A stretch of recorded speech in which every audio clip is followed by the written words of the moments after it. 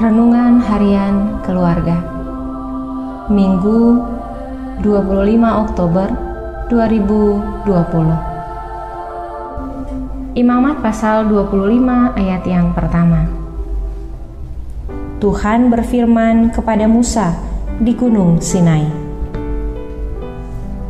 Judul renungan hari ini Firman Tuhan untuk kehidupan Sahabat RHK yang dikasihi Tuhan, manusia bisa mati secara jasmani jika tidak makan ataupun minum dalam waktu tertentu. Sama halnya secara rohani akan mati kalau tidak makan roti sorga dan minum air kehidupan.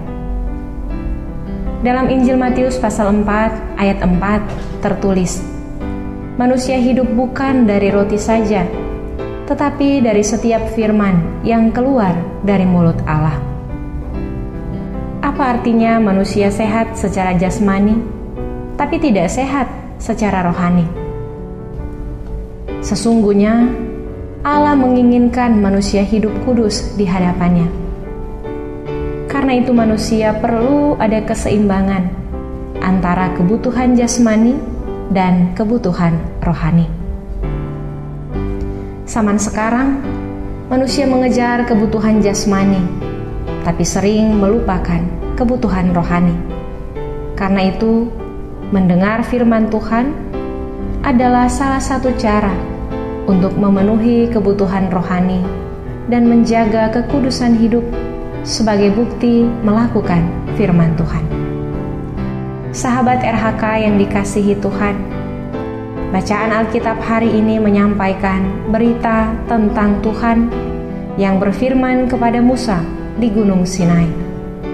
Gunung Sinai adalah tempat yang luar biasa, dipilih, dipakai, dan dikuduskan Tuhan untuk menyampaikan firman-Nya kepada Musa yang selanjutnya akan diteruskan kepada umat yang dipimpinnya. Mengapa?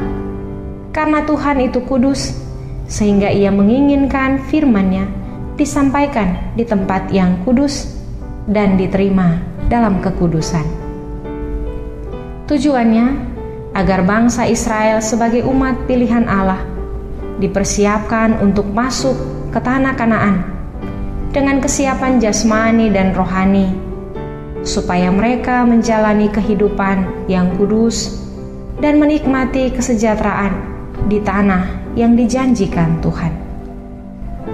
Sebagai keluarga Kristen, kisah ini mengingatkan kita bahwa mendengar firman Tuhan bukan sekedar rutinitas, melainkan menjadikan hal itu sebagai momen yang kudus di mana kita perlu mempersiapkan diri secara jasmani dan rohani. Artinya, dalam persekutuan ibadah, kita tidak hanya mendengar dan mengikuti secara liturgis, melainkan perlu memperhatikan kekudusan hidup melalui persiapan hati dan pikiran, merendahkan diri dalam pengakuan dosa, dan melakukan firman Tuhan dengan setia dalam kehidupan sehari-hari. Mari kita berdoa. Ya Tuhan, firman-Mu adalah kudus dan mulia sucikanlah kami, agar kami layak mendengar dan melakukan firman. Kami percaya firman-Mu adalah pedoman dalam hidup kami.